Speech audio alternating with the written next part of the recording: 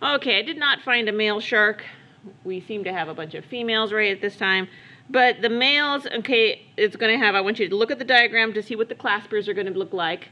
And then they would have, instead of ovaries up here, they would have testes. They don't quite look the same, but they're in the exact same location. Both animals, I realized I looked at my list, is that I didn't talk about the kidney. Okay, so let's make sure we understand where the reproductive is, right? So this is all part of reproductive.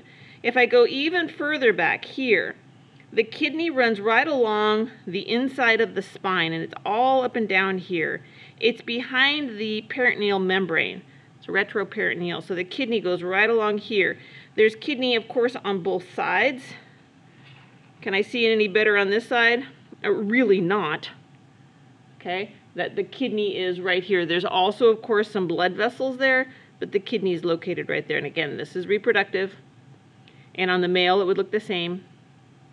Uh, the testes would, you know, the location's the same. It would not have a uterine tube, but there would be a, still a tube leading, but that's the kidney going right along there. Okay? All right, that's it.